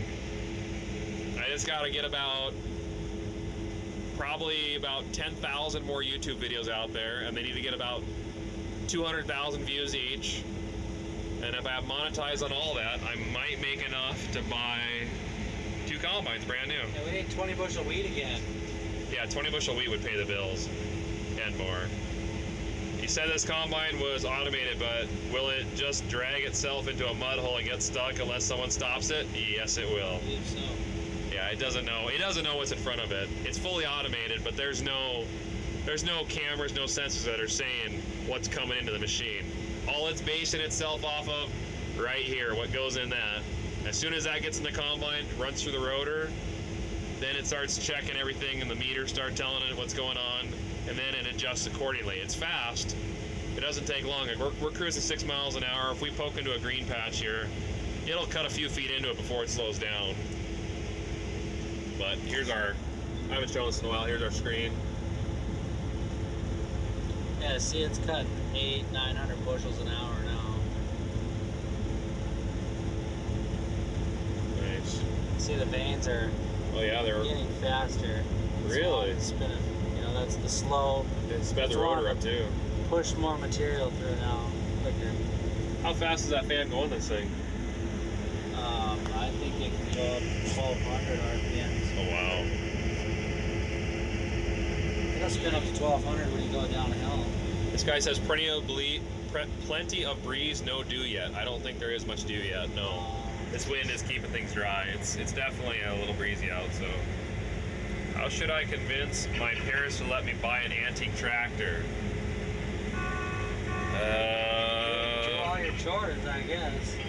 yeah. Two extra chores. Be a, be a very good person. yeah. Convince your parents. Uh, well, don't threaten them. That doesn't work. Tried that. Um, don't hide the car key somewhere and threaten them with that too. That doesn't work. Uh, I would recommend grabbing their credit card secretly out of their wallet or purse. That's not a good idea. I guess just mow the lawn quite a bit. Gold Picard is back in the house with 25 bucks. Nick, if you Nick, if you fields had the right amount of irrigation to help the crops get more water, what do you think your yields would bump up to? Maybe in the 200s like Ohio would be awesome. or not realistic. Thank you again for the 25 bucks.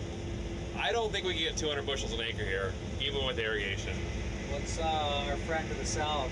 He's cutting 100 bushel wheat. We've got a guy that cheats by using a dihox. What's that? How do you pronounce that again? That.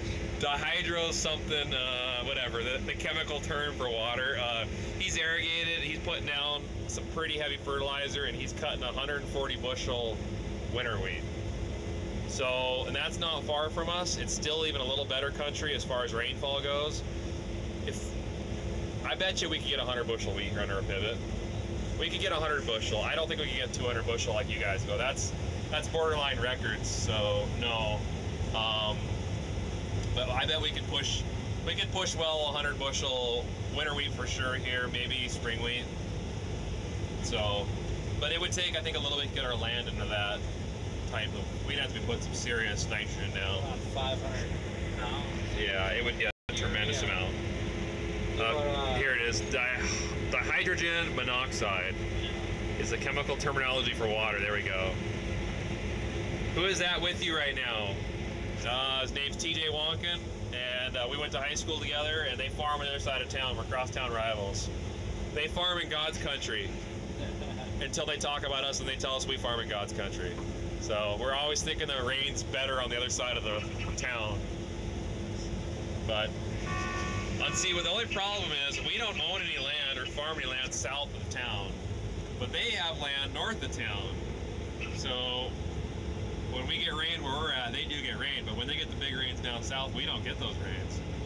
We always felt bad for Nick and his family, so we decided to get some farmland in their area so we could mourn alongside of them. Make us feel a little better, you know. Yeah, up in our dry country. Yeah. What's the best way to buy a new combine when you don't have a lot of money? Well, the bank is always willing to give money. Uh, for a combine like this, you're gonna have to have some collateral, I'm sure. If you don't have money, so you're gonna have to put down another machine that you got, your house. You can lease, maybe lease it. I bet the lease payment's 80 grand a year. Probably Put down 80 grand cash, you could probably lease lease to buy. I think they do a lot of this lease, like a three-year lease anymore. You could sell your firstborn for uh, a little bit. I don't know. It's not easy. Uh, where's da, da, da, where's that anhydrous ammonia? That's a little tiny yield. Um, anhydrous ammonia. We don't do anhydrous ammonia here. I don't think. Uh, what's the highest bushel per acre you've harvested personally? Okay, well, I guess you'd have to go by average because I've cut through areas that were over 100 bushels an acre. But that's like the bottom of a ravine where it had water all year and then really nutrient ground. Um, the highest I've ever cut was probably 50 something average winter wheat. 45 to 50 bushel winter wheat. TJ's cut 70 bushel winter wheat before. Spring wheat, That's on the bad side of town, too. that is on the bad side of town. Yeah, I, highest would probably be 40 bushel spring wheat, 50 bushel winter wheat for me. TJ's got probably 70 bushel winter wheat. How's the highest spring wheat you've cut? 40 maybe. We 40. don't grow that good of spring wheat. No. Yeah. Some of the better spring wheat was when we had the John Deere demo and you guys were out there. That was Yeah. nice. That durum. That was good durum too. durum's only worth five bucks this year. Seriously? Yeah, four bucks. Oh, that's not worth much. Well, that's the last pass. Guys, we just- field. Just finished it up. Just cut the last acre of field. And he's got 13 minutes left to drive this combine, so I guess we can do a bunch of brodies for a bit. We'll drive it through town. No, we wouldn't do that. This isn't our machine. We respect it. I just did get a bunch of weed on the floor in here. Because I'm really smart open the door when the grain comes out the top, hoping that you guys can see it. But... So yeah, we're wrapping up the field. He's gonna run back. We'll dump this off. There's a lot of yawning going on in this combine, so I think we're gonna have to wrap this up. But uh, I appreciate all the donations, guys. I hope you enjoyed this. I'm sorry that I wasn't able to get out and get some uh, footage in the daytime. It just didn't work out. I have obligations to be back on the farm too, but this is still fun. If I had like a nice bright light, I could. The outside of this thing looks just pretty much just like a an 8230 or 8240. Scott says, leg arms here, go to bed, you got work to do. Is that leg arms? Yeah, it is. The real leg arms? Should I block him for five minutes? Hi, leg arms. Why don't you come drive grain cart tonight? yeah, we could got a lot more anchors cut if you would have come over here, Scott. Stop going to bed early. We're missing the link. I'm missing link. Yeah. Yeah. Yeah, we all gotta work tomorrow. I'll probably get up around. Fortunately, it's cool at night, so the mornings aren't easy to cut first thing, so we don't have to get up necessarily like crazy early, but yeah. I cut Uh, enough weed tonight that it's gonna take the crew till about 8:30 or 9 in the morning to have all the trucks dumped so we can cut again. yeah, there So you go. So you That's my strategy. I fill it up at night and let them dump them in the morning. And the, the case guys are coming and grabbing this combine first thing in the morning too, so it'll be gone, gone, gone. Oh, don't worry, Joe. No, no, no uh, offense taken about the subsidies. Don't worry. That's a common, uh, a common thing we talk about on and off on this channel. So I think the truth of the subsidies needs to get out there more than anything. yeah, it's more or less truth. That's yeah. We're not making 145 bucks an acre for every acre we're farming. We're getting a couple scraps here and there when the prices aren't that high. You couldn't survive on the farm subsidies alone out here. No. It has helped get you by for a short amount of time. Our goal out here is to make money farming, not to make it from the government. Yeah, we'd, we'd prefer just to do this entirely on our own. This guy says, I think it's a good time to leave. See you next stream. Definitely, buddy. Thanks for joining us. Drews, dues are heavy here in northern Saskatchewan. 1 p.m. they start, 7 p.m. shut down. Wow. Start at 1 in the afternoon, end at 7. Only a six hour harvest per day. That's not much. Um, when's your next live stream? It might be tomorrow. We'll see how it goes. I'll probably do one tomorrow. I'll probably have more time. Thanks for showing us the new combine. I I wish I could have shown you guys more, but uh, these things will be all over the place in a year. So, what do you do if there's weed on this combine? You gotta come get it. I'm gonna go put it in the grain cart. Okay. I was gonna think about that. What do they? They come show up. There's still 150 bushel in there. What do you do? It is going in this grain cart. it's like this grain's coming off this thing. Otherwise, the next farmer's gonna get a nice little payday. Well, that's a 1400 bushel cart. You got to get at least 1450 on there. It's plenty full, but doesn't really have much of a bed on it. ah, it'll fit on there. I'll put it on How much we got back here? Oh, it's got about 100 bushel in here. there. Yeah. It, yeah, Kathleen to stream tomorrow. She's got a friend she's picking up at the airport, so uh, she's not going to be in town tomorrow. I should say in town, on the farm. But uh, I'll get her on the stream again someday. She's a busy mama. She's got a lot on her plate right now, so. Stack this thing. He's gonna pile it heavy. Zoom in on it. Alright, back.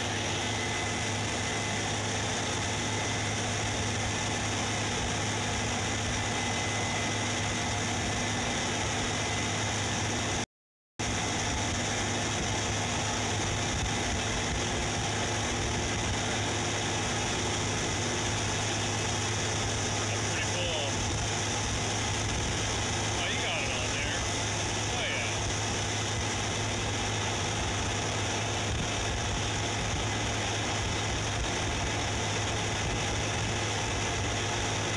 Nice.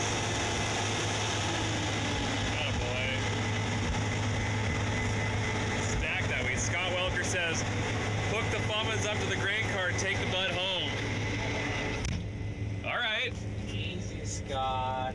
Joe Parker just gave 10 bucks. Thank you, Joe. I appreciate it, man. It's a good chat. No problem. That's awesome. Donate 10 bucks. I really appreciate it.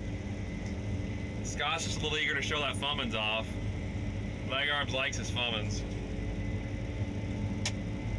Might have to talk to Chris about it tomorrow, though, Scott. I saw him. Uh, I saw him laying some rubber on the ground with it earlier. He took a spin. A 9250 was on demo near me in North north, uh, something I can't. Uh, north, uh, it's balanced Hampshire, UK. Saw it driving up the road, but didn't get to see it working. Okay, so they have a 9250 in U- the UK right now. So this is probably the only 8250 in the states. There's probably a 9250 rolling around somewhere, probably in the corn country.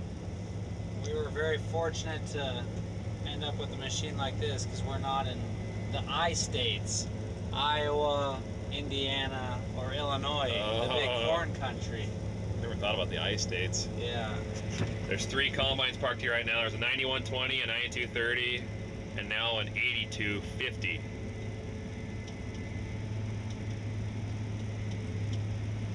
Perfectly lined up. here. I know, you gotta get them good. Alright, well, let it cool down for a little bit. You like run it wide open? Go ahead. Oh, I don't It have lights that uh the header really does move well, doesn't it? I want to uh, bring the reel back in for. So you can take it off. I always forget for transport, I gotta bring the reel in. Do they want it back like that? Yeah, it doesn't stick out so much. Uh, Should have parked these in the right direction, that's okay. All right, guys. Well, I. I suppose that's it. Yeah, midnight. That's a good good evening. So it was fun running this thing. Thanks, Case, for uh, bringing it by. Torgerson's and Etheridge, Great Falls, Lewistown, Havre. They're all over the place. Denton, maybe? Uh, they're in uh, Kalispell. Yeah, there's one in Kalispell too, I believe. So yeah, thanks guys. Thanks everyone for donating today. Thanks for subscribing to the channel. Those that haven't, subscribe. Uh, everybody go to TJ Wonka YouTube channel. No, he doesn't have one, so don't go there. Yeah. And uh, TJ's gonna pull all this stuff out of here, and uh, we'll shut this baby down. There's, there's that lousy horn again. That is actually a pretty crisp horn. It's been real, folks. Yeah. Okay. Take care, guys. Have a good one. I'll see y'all.